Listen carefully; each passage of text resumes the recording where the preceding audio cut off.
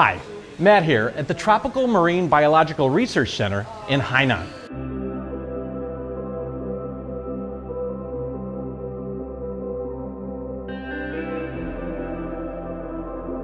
This facility is designed to grow corals. They have over 100 different types of coral colors, shapes, and sizes.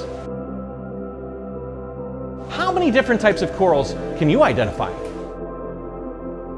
This little beauty is called an elegance coral. It has a couple of mouths that filter water. When it's fully opened, its tentacles spread out really, really wide. This one is called a plate coral. They're rounded and use their tendrils to move food to the center mouth in the middle. One of the most beautiful corals, in my opinion, is Acropora. And it's not just one polyp. Thousands of polyps are working together to create a community that creates the branches. Is a toadstool leather coral, and it is just gorgeous. This is a green spaghetti finger leather. It sort of looks like a pile of spaghetti. This is a brain coral with a little hitchhiker on the back. A uh, hermit crab that's doing its job to clean the surface of the coral. They have a lot of symbiotic relationships between the coral and the organisms that live around the coral. Now this coral right here with all the clownfish around it is nicknamed frog spawn.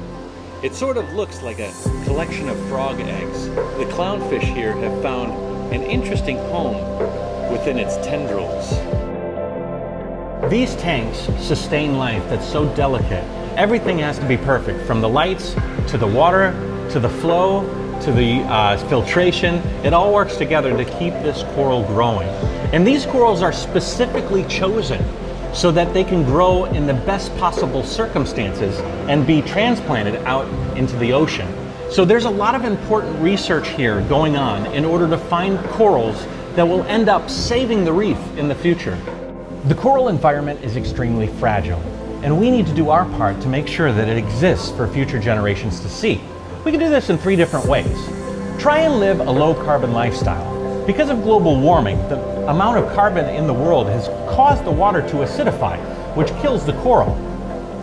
Number two, buy products that are not made with illegal coral.